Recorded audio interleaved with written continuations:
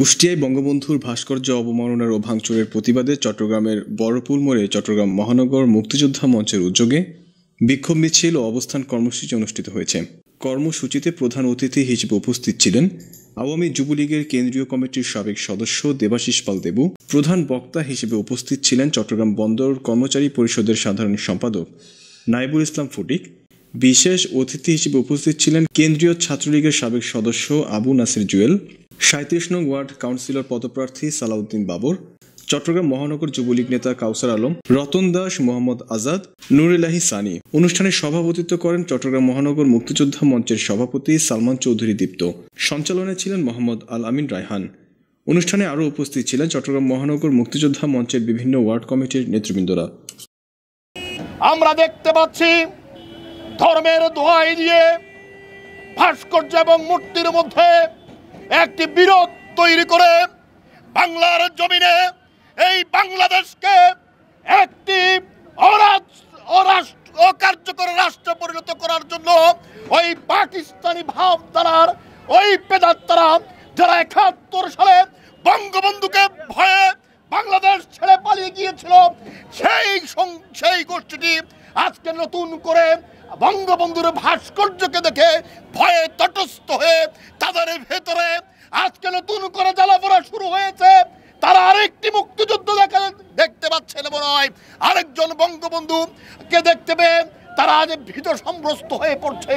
প্রিয় বন্ধুরা আমার, আজকের এই সমাবেশ থেকে আমাদের সুস্পষ্ট ঘোষণা, তুমি এই যারা ইসলামের দোহাই দিয়ে, যারা ধর্মের দোহাই দিয়ে আমরা বলতে চাই তুমি বঙ্গবন্ধুর ভাস্কর্যে আঘাত করনি, তুমি আমার হৃদয়ে আঘাত করছ, তুমি বঙ্গবন্ধুর ভাস্কর্যে আঘাত করনি, তুমি আমার অস্তিত্বে আঘাত করছ।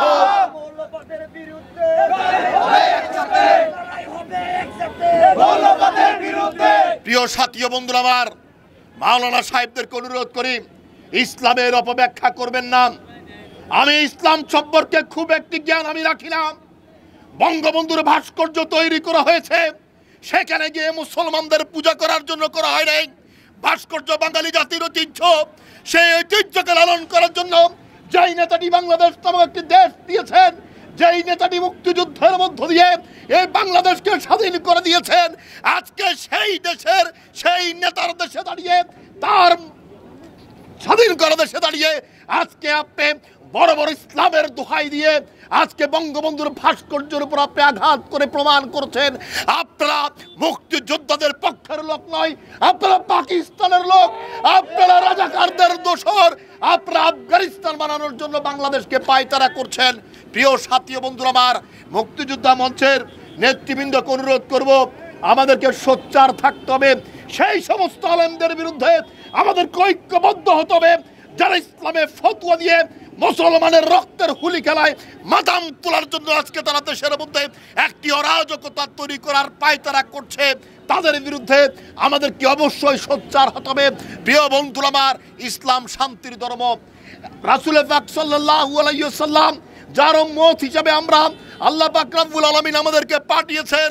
আমরা বলতে চাই রাসুল পাক সাল্লাল্লাহু আলাইহি সাল্লাম তার বিদায় হজে তিনি স্পষ্ট করে দিয়ে গিয়েছেন যে ধর্ম নিয়ে তোমরা বাড়াবাড়ি করো না। আমরা বলতে চাই, আলেমুল আমাদেরকে, আমরা আপনাদেরকে ইমাম মানি, আমরা আপনাদের পেছনে নামাজ পড়ি, আমরা কিন্তু জানি না আপনি কি হেফাজত করেন, আপনি জামাতে ইসলাম করেন, আপনি বিএনপি করেন আমরা বুঝি আপনি একজন ইমাম, আপনার মধ্যে এলেম আছে দিনই শিক্ষা আছে, আমরা আপনার পেছনে কিন্তু মান আল্লাহ পাককে আমরা সেজদা করি। তার অর্থ আপনি বুঝতে হবেন আপনি একজন সম্মানিত ব্যক্তি। আমরা ইসলামকে বুকে ধারণ করে, ইসলামকে কে কটাক্ষ করলে, আমার ধর্মকে কে কটাক্ষ করলে, আমার হৃদয়ে লাগে আমাদের কষ্ট হয়।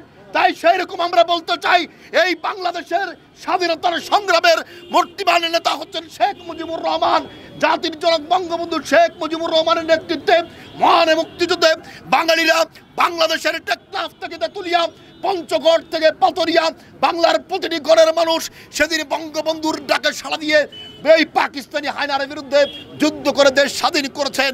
আর এই সেই স্বাধীন দেশে দাঁড়িয়ে আজকে আপনারা নতুন করে ষড়যন্ত্রে লিপ্ত রয়েছেন। বাংলাদেশ যখন তার উন্নয়নের দ্বার প্রান্তে বিশ্বের উন্নত রাষ্ট্রগুলোর সাথে বাংলাদেশ পাল্লা দিয়ে যখন সামনের দিকে এগিয়ে যাচ্ছে, বাংলাদেশের উন্নয়ন, বিশ্বের অনেক দেশ, অনুন্নত দেশ আজকে বাংলাদেশের উন্নয়ন দেখে ঈর্ষা করে। তারা বলে, গর্ব করে বলে, পাকিস্তানের এক পুরনো রাজনীতিবিদ বলেছেন সেই ইমরান খান বলেছে যে তিনি পাঁচ বছরে বাংলা, পাকিস্তানকে তিনি সুইজারল্যান্ড বানাই দিবেন। তখন তাদের এক বিজ্ঞানী বলেছেন তুমি পাকিস্তানকে সুইজারল্যান্ড বানানো দরকার নাই। তুমি পাকিস্তান, তুমি পাকিস্তানকে বাংলাদেশ বানিয়ে দেখাও। বক্তব্য সুস্পষ্ট যে বঙ্গবন্ধু ভাস্কর্য নিয়ে যারা কটূক্তি করবে অথবা বঙ্গবন্ধু ভাস্কর্য যারা হাত দিবে, আমরা এটা কোনোভাবেই মেনে নিব না এবং এটা একটি গণতান্ত্রিক রাষ্ট্র। এখানে কেউ কেউ কারও চাপ দিতে পারবে না। আপনারা বক্তব্য শুনেছেন।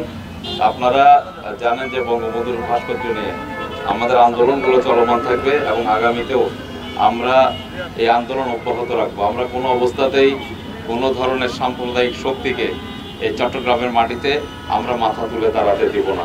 আর বক্তাদের প্রতি যারা অনুষ্ঠান আয়োজন করবেন, তাদের প্রতি অনুরোধ থাকবে যে বক্তব্য এবং অনুষ্ঠানের নিয়ম এবং কতক্ষণ চলবে এই জিনিসটা খেয়াল রাখবেন।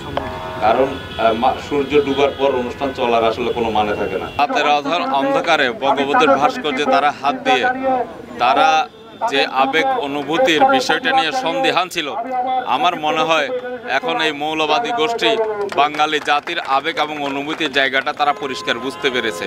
সারা বাংলাদেশ আজকে উত্তাল। বঙ্গবন্ধুর ভাস্কর্যে যারা হাত দিয়েছে তাদেরকে এর মধ্যে গ্রেফতার করা হয়েছে। আমরা আশা করব তাদেরকে অত্যন্ত দৃষ্টান্তমূলক শাস্তির আওতায় এনে এই ধরনের কাজ যেন আর কখনো এই ধরনের কাজ করতে না পারে, সেই ব্যাপারে প্রশাসন একটি নিশ্চিত পদক্ষেপ নেবে।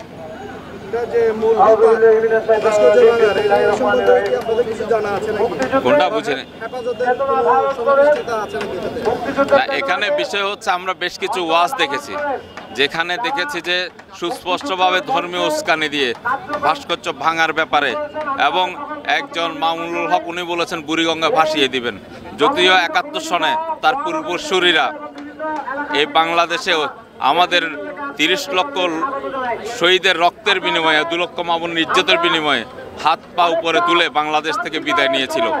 এবং আমরা যেটা বিশ্বাস করি যে তাদের উস্কানির কারণে কেউ কেউ সেই উস্কানির ফাঁদে পা দিয়ে ধর্মান্ধতায় বিশ্বাস করে এই ধরনের বিশ্বাস ছড়াচ্ছে, বাঙালি জাতিকে বিভক্ত করতে চাইছে এবং তাদের উস্কানিতেই বঙ্গবন্ধুর ভাস্কর্যের উপর হামলাগুলো পরিচালিত হয়েছে।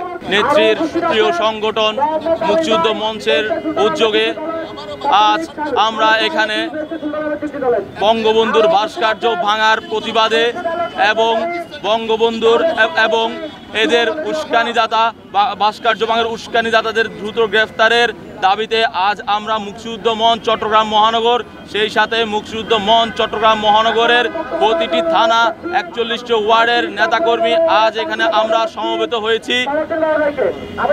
আজ আমরা উক্ত প্রোগ্রাম থেকে একটা ঘোষণা দিতে চাই এবং একটি আলটিমেটাম দিতে চাই, সেটি হচ্ছে যারা এই বঙ্গবন্ধু ভাস্কর্য ভাঙার পিছনে মূল হোতা হিসেবে কাজ করছে সেই মমনুল হক গং এবং জামাতের এজেন্ট হেফাজতের বাবুনগরীকে আগামী চব্বিশ ঘণ্টার মধ্যে, আগামী আটচল্লিশ ঘণ্টার মধ্যে তাদের যদি দ্রুত আইনের আওতায় আনা না হয়, তাহলে আমরা মুক্তিযুদ্ধ মঞ্চ, চট্টগ্রাম মহানগর একচল্লিশটা ওয়ার্ড এবং পনেরোটি থানার নেতাকর্মীদের সাথে নিয়ে আগামী তিন দিন এখানে অবস্থান কর্মসূচি পালন করব। পরবর্তীতে আমরা আমাদের পরামর্শ, নির্দেশনা, কেন্দ্রীয় নির্দেশনা অনুসারে প্রয়োজনে পুরো চট্টগ্রাম অচল করব। যারা, আমাদের জাতির জনক বঙ্গবন্ধু শেখ মুজিবুর রহমানের উপর আমাদের যিনি, তারা আমাদের কলিজায় হাত দিয়েছে, তারা তারা আমাদের তারা আমাদের অস্তিত্বে হাত দিয়েছে।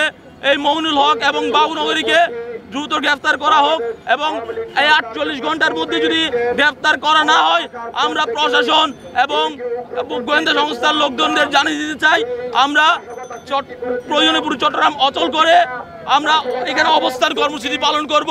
সেটা যদি এক মাস হয়, দুই মাস হয়, আমরা এখানে অবস্থান কর্মসূচি পালন করব। তাদের আমরা দ্রুত গ্রেফতারের দাবি জানাচ্ছি।